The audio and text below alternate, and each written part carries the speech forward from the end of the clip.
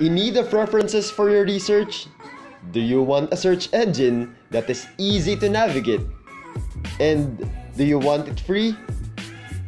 If you are a student, researcher, or teacher looking for socioeconomic references and materials, then SERP-P is for you. To access SERP-P, just visit the PIDS website at www.pids.gov.ph and click the SERP-P widget.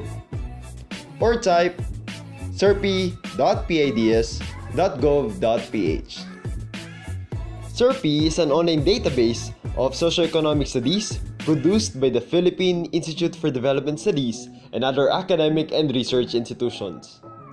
SERP-P has a wide variety of socioeconomic materials such as journal articles, books, working papers, policy notes, research papers, and newsletters.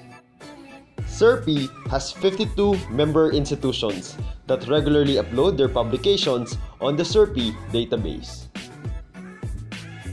SERP-P has a wide coverage of materials encompassing 17 research themes. You can search by keyword or author, by publication type, by research theme, or year published.